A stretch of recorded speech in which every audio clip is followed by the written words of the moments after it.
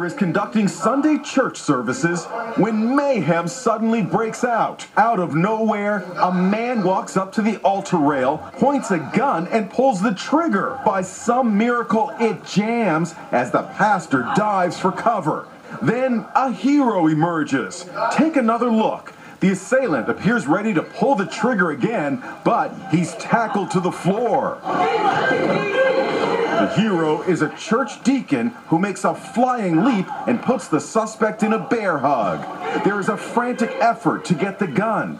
All of this is playing out in front of the congregation and a live stream as people watch from home.